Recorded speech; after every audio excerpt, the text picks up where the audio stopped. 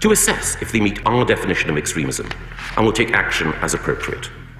There are, of course, further steps that we will take in the coming days and weeks to marginalise extremist groups and to support and strengthen those communities where extremists are most active and spreading division.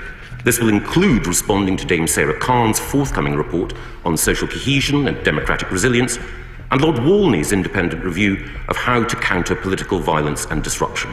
Chair, firstly, uh, Chancellor, um, uh, but you see Diane Abbott on the TV, you just want to hate all black women because she's there. I think she should be shot.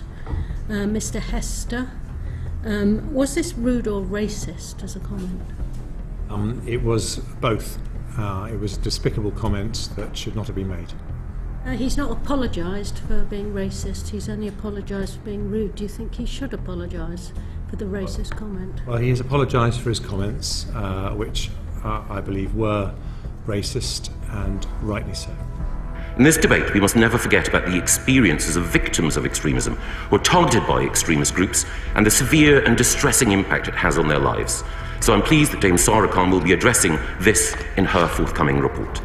Now, um, you're Chancellor of the entire country, but if you were Treasurer of the Conservative Party, would you return the £10 million that this man has donated to the Conservative Party? Well, um, I'm not Treasurer of the Conservative Party, but um, I don't believe that someone should be cancelled for a comment they made in the past and for which they have apologised. But that does not make the comments any less despicable, and I don't defend them. You're happy to accept the money, but you don't defend the comments? I think the comments are despicable, and I also think that uh, the Conservative Party's record on these issues speaks for itself uh, with the first uh, ethnic minority Prime Minister, uh, an incredibly diverse cabinet. I'm incredibly proud of what my party has done to increase diversity, and we stand on that record. As the Prime Minister has said, the time has come for us all to stand together to combat the forces of division and to beat this poison. The liberties that we hold dear, and indeed the democratic principles we're all sent here to uphold, require us to counter and challenge the extremists who seek to intimidate, to coerce, and to divide. Do you think that Frank Hester is a fit and proper person to be in receipt of hundreds of millions of pounds of taxpayer money and public contracts, given his private attitudes? Well, um, I was uh, health secretary when uh, he Rather was. a lot of black and ethnic minority workers in the health service, after all.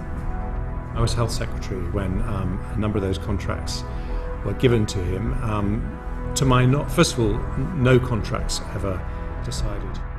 We have to be clear eyed about the threat we face, precise about where that threat comes from, and rigorous in defending our democracy.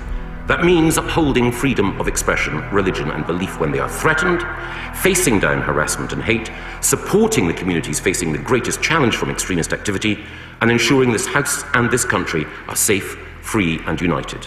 I commend this statement to the House.